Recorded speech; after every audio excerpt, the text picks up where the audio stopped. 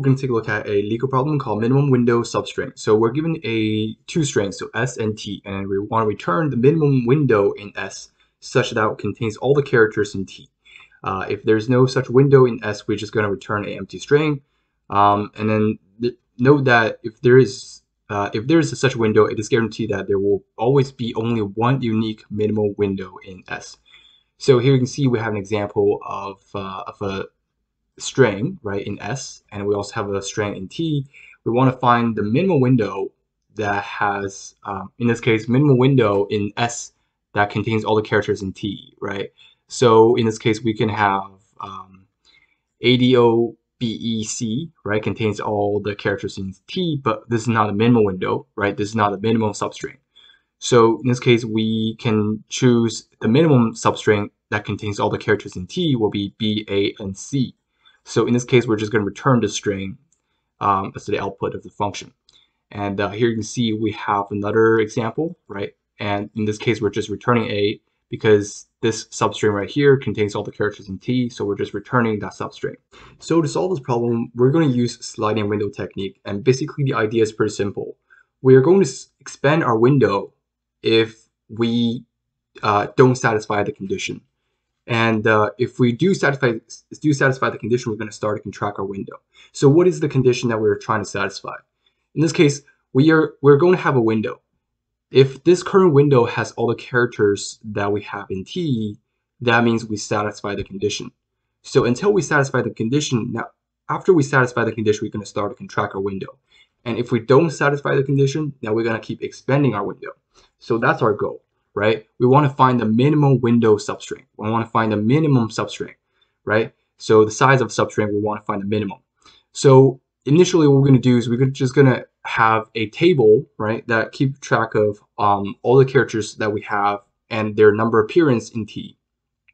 Then we're going to slide our window to see if our current window contains all those characters.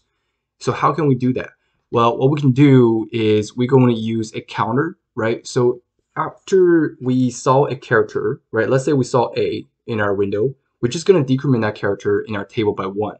And after we decrement that character by one, right? After we decrement the appearance of that character by one, we check to see if that number hits negative. If it's not negative, that means we know that that character, uh, we found a character that contains in T. So we can just increment the counter by one. And the counter, basically the counter is going to keep track of um, how many characters we found in T that we have within our window, right? So don't worry, we're gonna go through a uh, one by one, step by step. Okay, so basically we're gonna have our window like this. We saw one, right? We saw A, so we're to decrement A by one. We found A because in this case A is not negative number, so we're just gonna increment that counter by one, and we now D.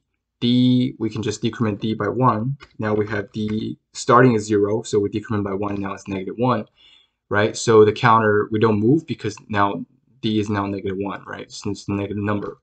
Now we have O, right? We Imagine we're going to do the same thing until we get to a point where we found all the characters within our, uh, our window, right? So now we have, I believe now B0, C is now 0, and um, there's other characters, da da da, right? So we're now we're going to start a contractor window. So what we're going to do is we know that now counter is now three because we found all the characters, right? We found all the characters in in in uh, in T in within our window. So now we're going to contract our window. We're going to uh, basically check to see if the counter. So while the counter is still equal to the size, the size of the T T string, right? We're going to contract our window by first removing the left element, right? Removing the left element out of it by adding, incrementing that character appearance in the table by one. So now A is one. And uh, because we remove an element that result of that uh, appearance is bigger than zero, then we're going to decrement the counter by one, right? Because now if we were to shrink our window, we lost a character that was in our window, right? We, we lost a character that's from T within our window. So now we're going to start expand our window again.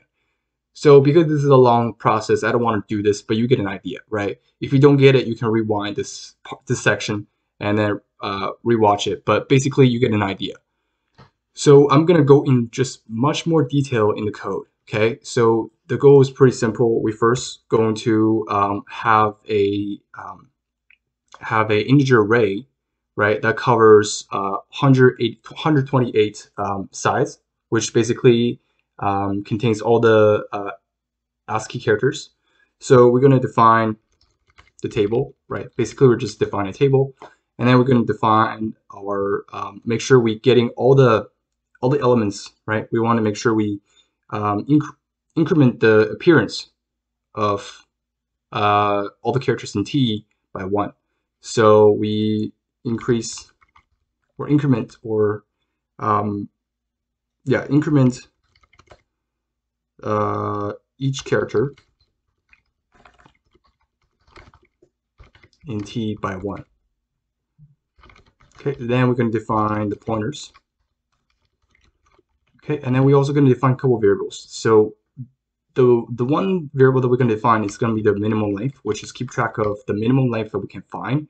And once we find the minimum length, we're also going to um, update the string that we're going to return at the end. So we're going to have a answer that we're going to return at the end, right? This is going to basically keep track of the string, the substring that has the minimum window, right? Then we're going to use sliding window technique to uh, find the min window, right? all right, so then at the end, we are returning the answer.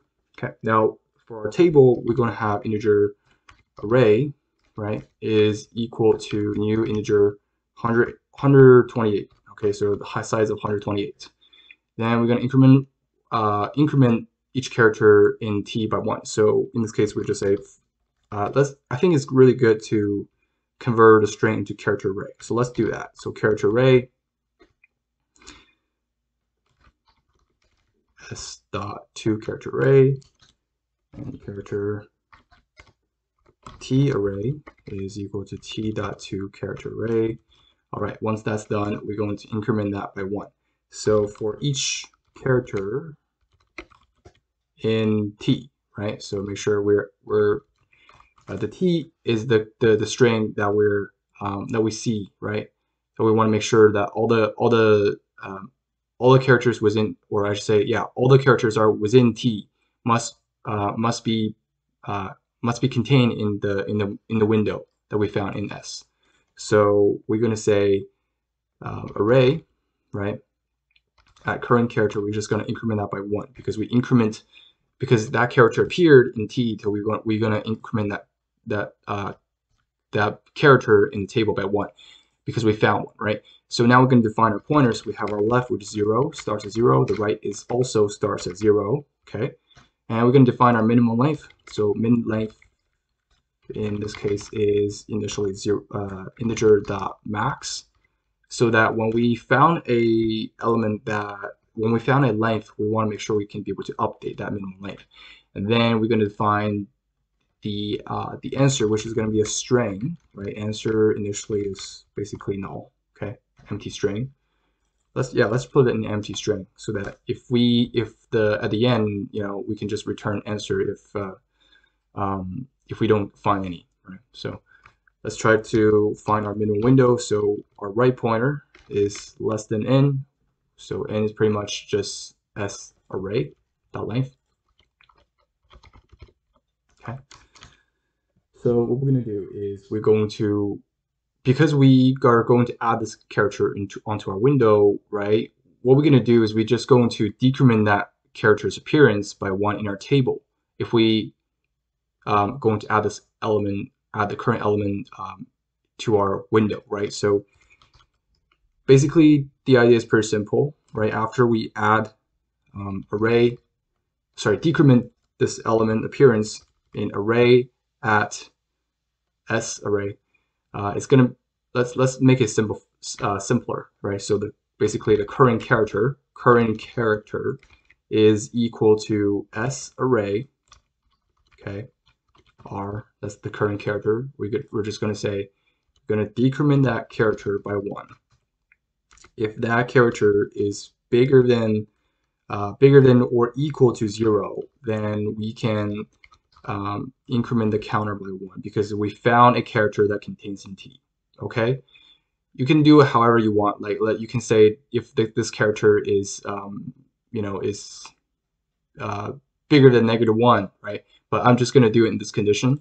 But you get an idea, right? So first, we're gonna add this current character onto our window. We're pretty much this is pretty much our expanding face, expand our window face. Okay, and then we're going to define the sh shrinking our window or contract or yeah, so shrink window the window if we satisfy the condition, right? If we satisfy the condition uh, when the counter is going to um, equal to the size of t string, right? We pretty much found all the elements that we have in our t string.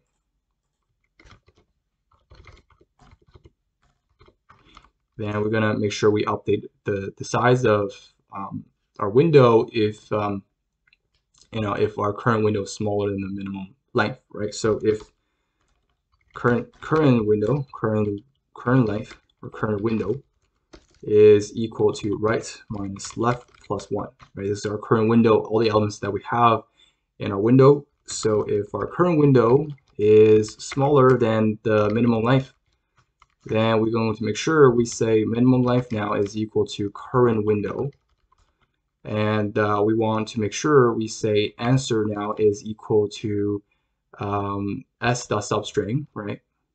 So we want to get the substring from left to right plus 1.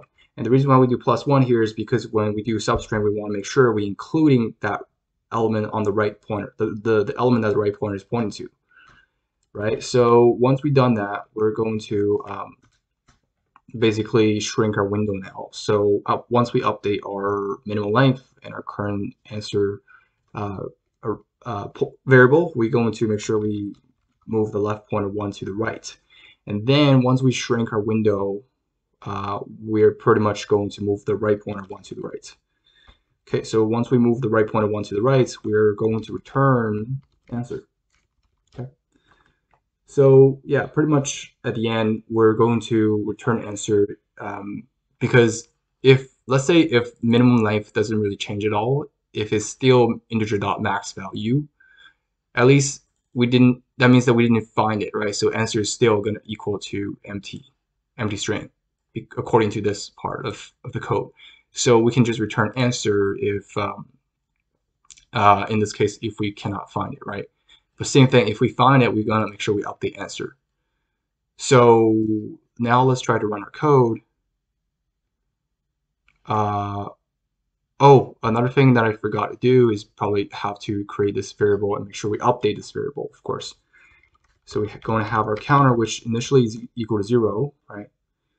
And uh, here, basically, what we're going to do is if we found a character, like let's say we uh, we found a character, right? So we found the character, we want to make sure we, um, so in this case, character left char is equal to um, array at left, right?